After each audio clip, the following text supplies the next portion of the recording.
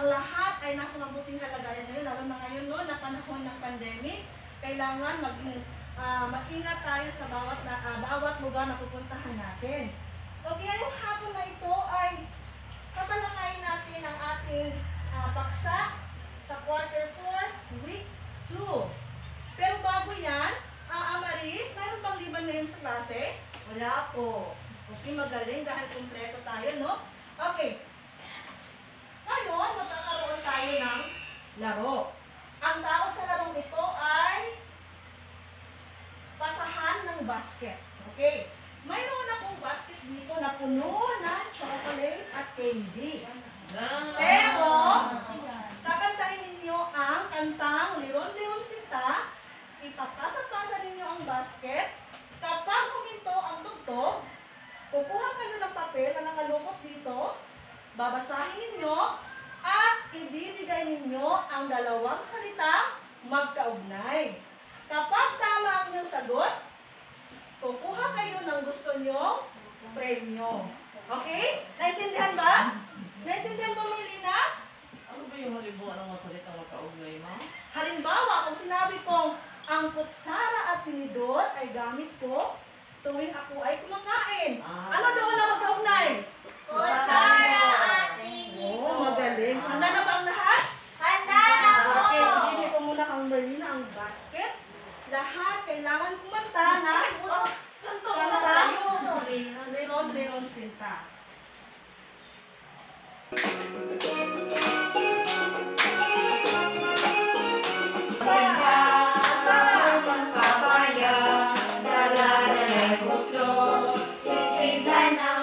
Okay, Amari.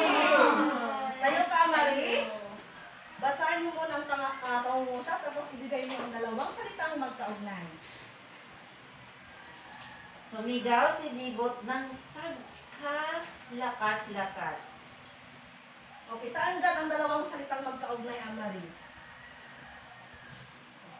Sumigaw si Bibot ng pagkalakas-lakas, ma'am? Oo. Sumigaw si Bibot ng pagkalakas-lakas, yun, ma'am. Saan doon ang dalawang salitang magkaugnay? Su sumigaw. Amari, okay, kumuha ka dyan, Amari, ng gusto mong premyo. Yay! Thank you, Okay, ma'am. patuloy. Pagdating sa Loy, nabali ang sana. Okay, Merlina. Okay, Merlina. Tayo, Merlina. Patin at lapin. Wow, galing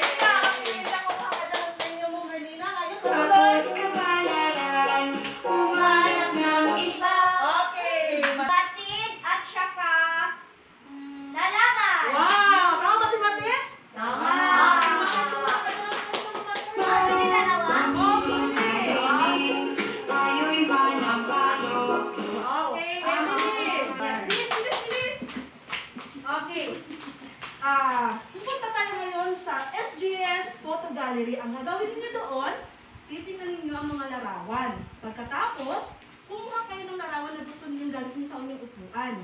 Pagkatapos ay sagutin ninyo ang dalawang tanong na ito. Una, bakit ito ang napili mo? At pangalawa, nangyayari ba ito sa totoong buhay? Pagkatapos niyan, magkaroon tayo ng pagbabahagi ng ating sa larawan na gusto mo natin sa iyong upuan. Okay, wag, wag kalimutan mag-social distancing. Dan po. Na, Hindi naman, ang sige, dikit naman. Ang daming dikit nilagay. Okay lahat. Sila. Sarah, na makuha niya ang kanyang gustong larawan. Okay, Dorinita, magaling. bakit ito ang napili mo? Okay, pakita mo muna sa kanila yung Okay, ito po yung larawan napili ko kasi ah no Ang larawan ni Wonder Woman. Wow. Bakit ito ang napili ko? Napili ko ito dahil nakapanood na ako ng movie na ito na siya ang bida. Nangyari ba ito sa totoong buhay? Hindi ito nangyari sa totoong buhay dahil wala namang super natural powers tayong mga tao. Okay, magaling, Evelyn. Sunod, Sarah, ito naman Sarah. Na ang kanyang kapatid ay nakakita na ng isang sirena at binigyan pa siya ng ano ng Ano yun ba? Ang alamanan? Supply. Ah, ganun ba? Bakit Merlina? Para malaman din natin, magpo-prove natin na totoo ba yan? At hindi. Okay, natin natin kung ano ba ang mga tekstong kathang isip at di kathang isip.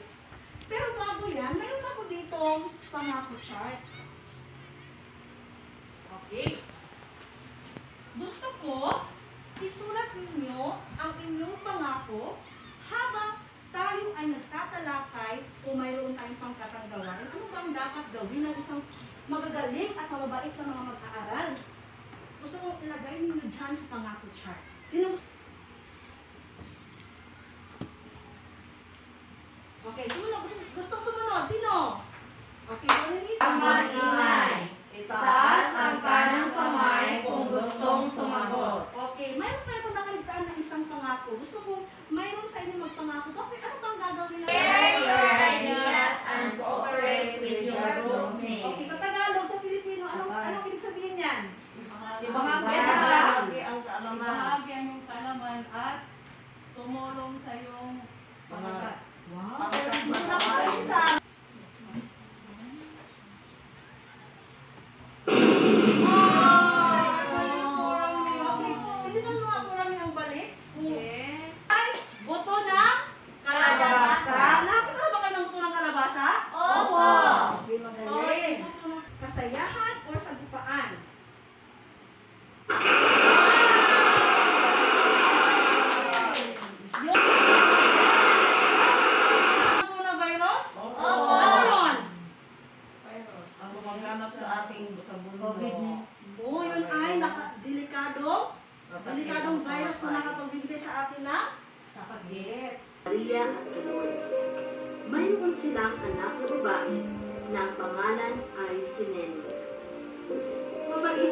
na bata si Nene.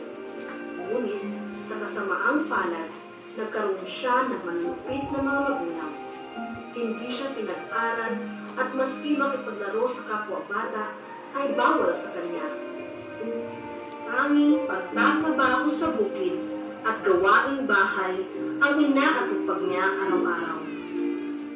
Nagpunta siya sa bukid para kumuha ng saging at kamote. Nakasalubong niya sa daan ng isang matandang babae. Tinulungan niya ito at binigyan ng pagkain. Natuwa ito sa kanya at binigyan siya ng tatlong pirasong buto ng mahiwagang kalabasa bilang pasasalamat. Ano man ang hilingin mo sa butong iyan, ay magkakatotoo. At pagkatapos, bigla na nga nawala ang matanda. Isang araw, dumating ang isang napakalakas na bagyo sa kanilang bahay. Maraming puno ang naputol at nasirang mga pananim. Mahiwagang buto ng kalabasa. Hinihiling ko po na sana tumigil na ang bagyo at ibalik ang mga nasirang pananim. Sa isang iglap, agad na huminto ang ulan at malakas na hangin at nagpakita ang sikat ng araw. Ang mga pananim ay nabuhay ulit at parang walang nangyaring bagyo. Ang binuuyan ay maituturing na critical area dahil madalas may nangyayaring sagupaan ng mga rebelde at sundalo. Sa ikalawang kahilingan ni Neneng, hiniling niya sa mahiwagang buto na sana magkaroon sila at ang kanyang mga kabaryo ng isang ligtas na lugar na wala ng putukang nagaganap. Pagising niya, nagulat na lang siya dahil hindi na sila nakatira sa? Hindi. Mahiwara. Anong sinabi ng matanda sa buto ng kalabasa? Anong sinabi ng matanda sa... Pagkakaroon siya ng tatlong kahilingan. Okay. Okay, tingnan na natin. Ano, ano pa yung mga tatlong kahilingan ni Neneng? Sino makapagbigay sa unang kahilingan ni Neneng? Ah, Yes, Lorame. ang unang hiniling ni Neneng ay sana matigil na ang bagyo. Gaya na lang ng mga noodles, baterya, cellphone, at iba pa. Hawaan sila ng virus. Yung tinatawag na COVID-19. Okay, coronavirus. Totoo ba may coronavirus? Nangyayari ba siya sa totoong buhay? Mo sa huling buto, ang mabuhay ang iyong mga magulang. Sa akin po, opo, kasi mahal na mahal ko po yung nanay at tatay ko. Kahit na ganun, ganun, yung hindi nila ako inaalaga rin sila. Kaya gustong gusto ko mabuhay sila. Ay, mayroong masayang mukha. Ang, ang di katang isip, mayroong masayang mukha. Ang katang isip, malungkot na mukha. Pipindutin nila yung ah, icon, ah i-check natin kung tama ba yung sagot ninyo. Naintindihan ba? Okay, ang unang teksto, natin lahat. Manlulupit ng mga magulang. Okay, sino gusto sumagot? Okay, magaling kayo din na, correct. Di ka tangbaan. Ah, sagupaan, another term ay gera, di ba? Sa TV, marami ka nakikita ang sagupaan ng rebelde at militar. Sunod. Basahin. Ano man ang iyong sa buto ay magkatotoo. Okay, yan ba ay tekstong katang isip o di katang isip? Yes, Amari. Dahil, dahil, sa totoong pangkat. Ito yung magiging pangkat 1, dito pangkat 2, at dito naman ang pangkat 3. Okay, ang gagawin ninyo, ibigay ko kayo, naintindihan ba? Opo. Naintindihan ba dito na side? Opo. Okay, pangkat 1, ito ang sa inyo, pangkat 3. Ay, oh, para tapusin ang Mayroon lamang kayong isang minuto para isulat ang inyong mga kasagutan.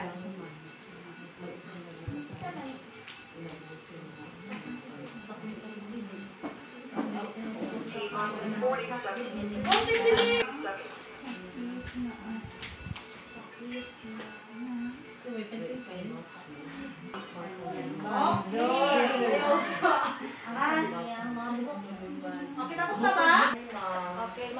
Inyong upuan.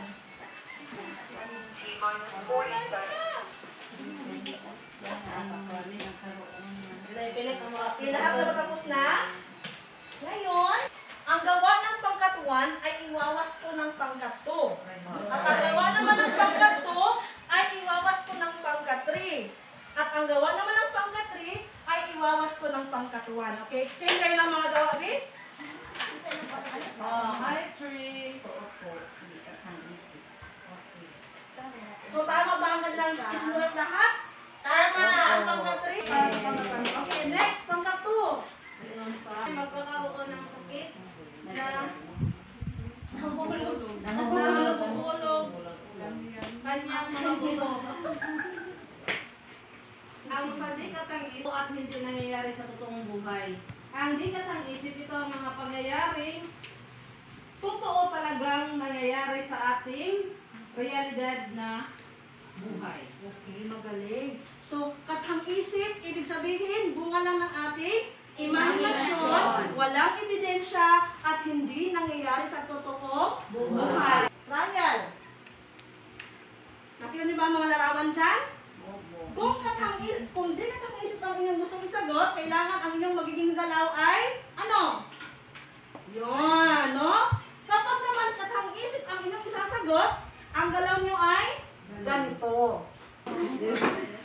Okay. Handa ka ba? Handa na. Okay. Unang, unang larawan. Okay, una. Ang Biblia ay katang, di katang isip, o katang isip. O, dapat ay katang. Okay, sunod. Ano mo lang, tinan mo, doon nagtatapos ang aming balisahan. Okay. Dahil nakita ko at obserbahan ko na ang lahat ay nakasunod sa mga pangako. Isinulat niyo dito sa pangako chart. Additional 10 points. Tumataginti kayo ngayon na 20 points. Okay. Palakpakan natin ang isa't isa. Okay, para sa impact ng aralin,